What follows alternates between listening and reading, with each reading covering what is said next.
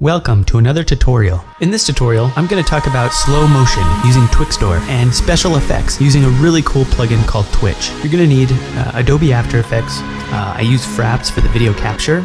And for slow motion, I prefer Twixtor. And I'm using Video Copilot's Twitch, which is incredible for video game effects.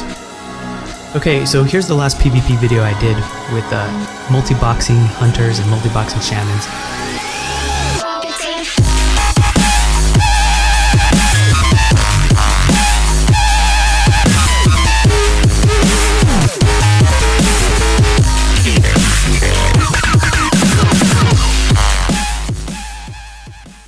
Alright, let's get started. You can see that all of my video is shot at 30 frames per second. Let's go to a new composition. We're going to do 1080 at 30 frames per second. And uh, drag your video down into the timeline. To fix the size, right click on the video, go to transform and fit to comp. Alright, now the video fits on there.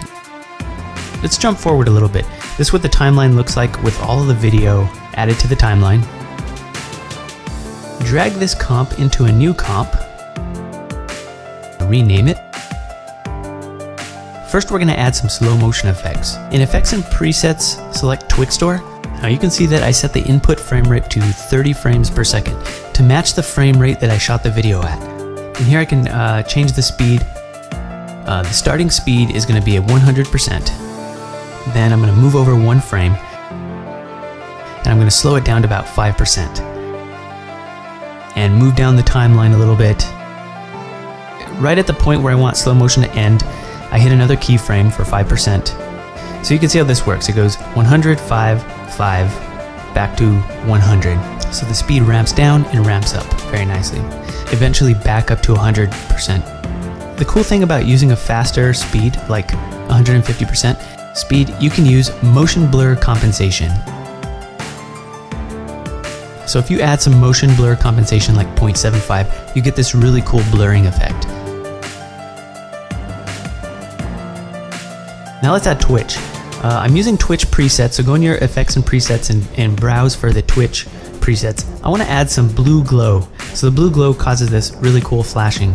I double click on blue glow and add that to the footage and I drop down some keyframes at the default 100 amount and 5 speed, uh, move over a frame, and uh, basically it's going to start at amount 0 and speed 0, and then in the next frame it'll go up to 100.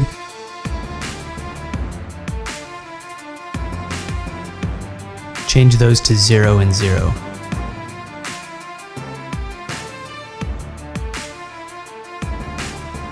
I want to add distortion, so I can add another Twitch effect as well. And I want to use bad distortion, which makes a really cool distortion effect.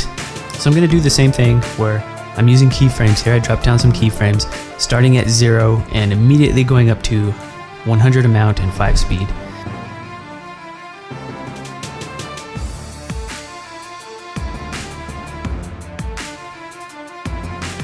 And then I'll drop down some more keyframes at the end of the effect, change those to 0 and 0. Here for these Twitch effects, both of them come on strong and they kind of ramp down to zero. Another really cool Twitch preset is jitters. So let's take a look at time jitters. Double click on time jitters in the next frame, ramp it up to 105. And select where you want the effect to end, drop down some keyframes, change those to zero. That's what it looks like. And uh, that's that's all for this short tutorial. Thank you for watching. If you like this channel and you like this video, please give it a thumbs up and subscribe. Good luck and have fun.